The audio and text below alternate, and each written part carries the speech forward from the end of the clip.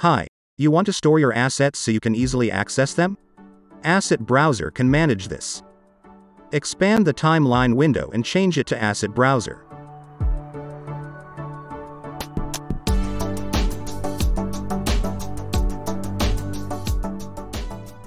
Now select the object or the collection, in the outliner right-click ID Data, and mark Asset. You can delete the asset by choosing Clear Asset as well.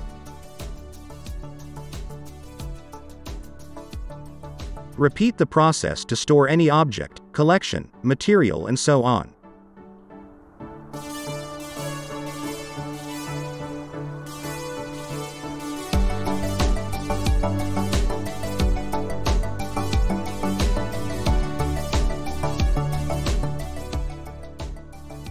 As you can see some objects have weird thumbnail. You can choose your own in the Properties panel and open an image to preview your object. These assets now stored to the current blend file. If we switch to the default directory, we find nothing, cause they stored just in the current file. To access them in the default window, we should save the blend file to that directory path on our hard drive.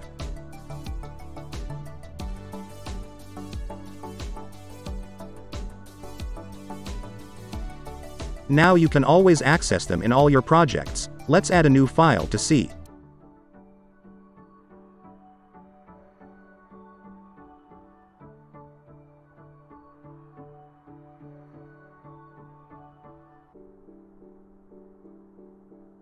Here we are.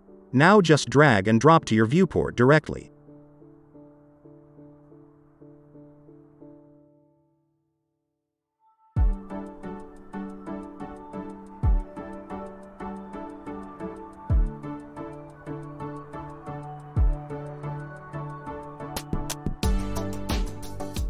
To add your own directory as I did here.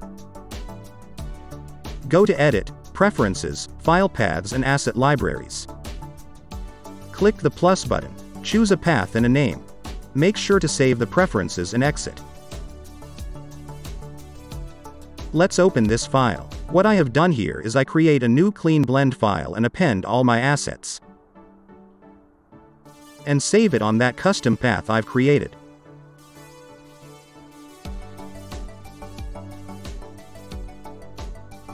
Now whenever I create a new project or open an old one, I can access my assets easily.